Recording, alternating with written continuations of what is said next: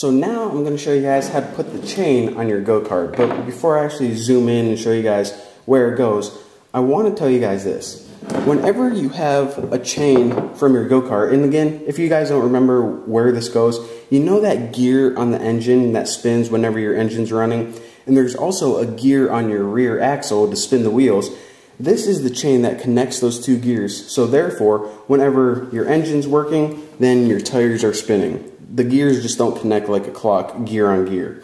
So now before I talk to you guys about this chain, I want to point out this. You remember when you're a little kid and riding your bicycle around town and sometimes, you know, you hit a jump and your chain came off? Well, then what you would do is you just grab your chain, put it back on your gears on your bicycle, ride it, and it would pop right back on. The gears for automotive chains are, I mean, excuse me, the chains for like cars or go-karts or motorcycles are really different they don't have pretty much any play in them at all. They're tight and designed specifically to fit perfectly on your gears. So when this thing pops off or if you need to replace it, you can't just, you know, put it back on by hand. What you need to do is you actually need to unlink it. So how do you unlink this chain? Well, the first thing you need to do is take a close look at the chain at all the separate links. Now, if you do, you're going to notice that one link is quite a bit different than the others. Can you guys see? It's this one right here. So the reason this link looks different is because this is the one link in this chain that is supposed to unlink. So at first, what you have to do is you have to remove this top clip. Now on one side of the clips, I don't know if you guys can see it, but there's an opening. So wherever that opening is, it kind of looks like a mouth. Push it away from the opening so it's going to unlink. Now this is always kind of a pain to do, so let me see if I can get it.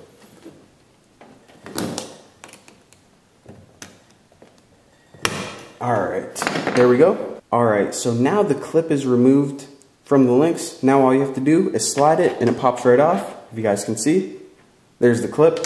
Now aside from the clip, there's also one more bracket holding the chains together. And this is just for strength because you guys pr probably can't tell, but this little clip isn't very strong.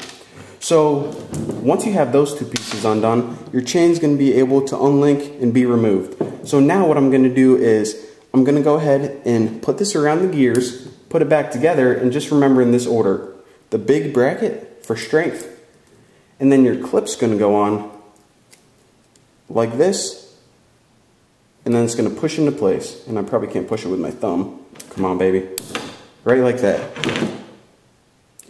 So, let's go ahead and get to it. So now go ahead and locate your two gears this one right here is for the rear axle. Let me go ahead and spin my tire so you can see. See that little gear with all the teeth spinning? That's the gear that makes the wheel spin. And this one right here is for the engine. Whenever this engine fires up, this thing's gonna start spinning. So obviously, as you can tell, if we just started it right now, the engine gear would start spinning, but nothing would happen with the tires. So in order to fix that, go ahead and grab your chain, and let me go ahead and put it on the rear axle first. Spin it, make sure it's on all the teeth. Alright guys, so sorry you didn't see that, but uh, my hands were in the way. I could hardly see, so there's no way I was going to get a good camera angle. But now, as you can see, let me go ahead and spin the rear axle. Whenever we do that, the engine and the tires, or where the tires are going to be whenever we install them, are now linked. So then if we went ahead and fired up this engine, our wheels would now spin. And by the way, if you're having trouble getting your chain on because it's just too tight, what you can do is actually unbolt the engine and lift it a little bit, and it may give you a little bit of slack. As you can see right there, maybe a little bit easier to get your chain on. But anyways, now that your chain is on, congratulations, you're now ready to start installing the shifter cable.